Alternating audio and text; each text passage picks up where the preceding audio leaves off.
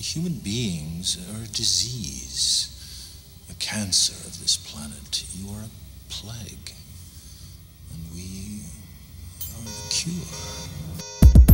are the cure.